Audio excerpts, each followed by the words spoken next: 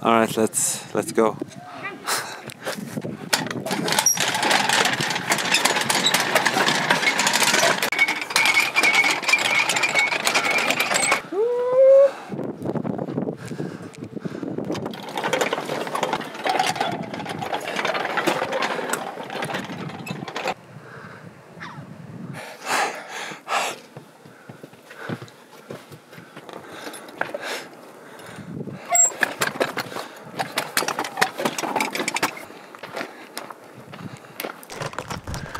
Last day.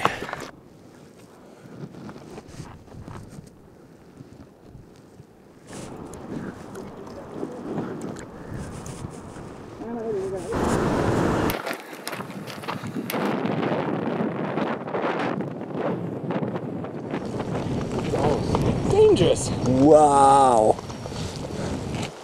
Hey, it looks like a morphed rabbit. It is a rabbit.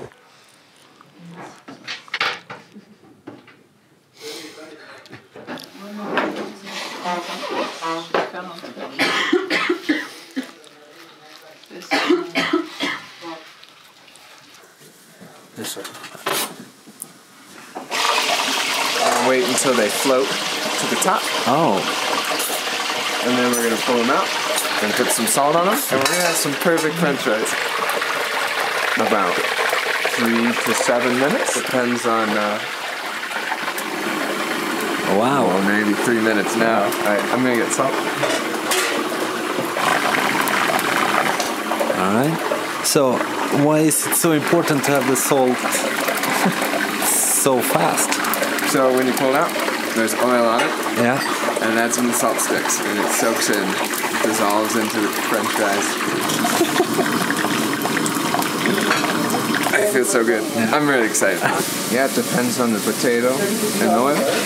But usually around the time they start floating, they get golden brown. Oh yeah, like that. I think they're ready. All right. We have made chips. So good. Amazing. See you next week. 100 euros. Tandis que pour 3 jours. Maman, elle avait-